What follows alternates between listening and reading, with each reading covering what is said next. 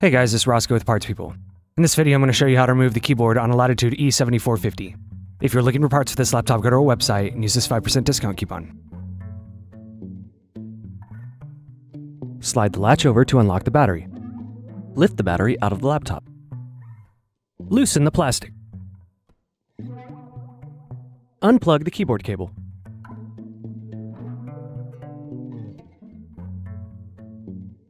Turn the laptop over and open it up.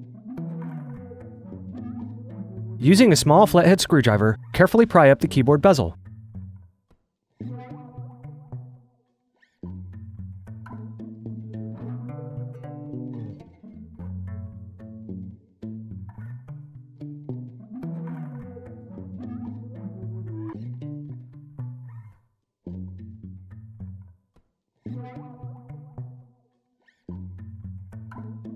Remove the screws.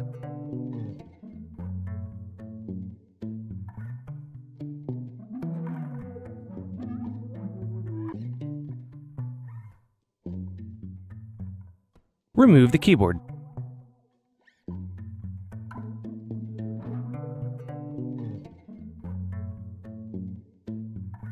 Are you looking for some more tutorials? Check out these other videos.